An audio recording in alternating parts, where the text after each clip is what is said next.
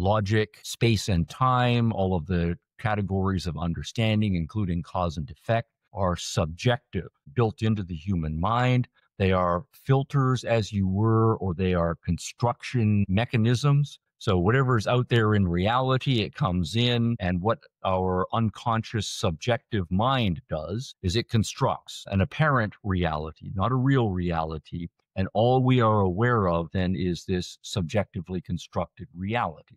And he says, then, as a matter of faith, or sorry, as a matter of principle, rather, we are then not able to think outside of this subjective construction to come to know reality as it is. Now, that then is an anti reason conclusion in that robust sense. So, my uh, final conclusion then is to say yes, Kant again thinks we should be rational, but he thinks rational is operating only within a subjectively constructed world, and he has closed off, as a matter of philosophical principle, any connection of uh, uh, our reason to reality as it really is.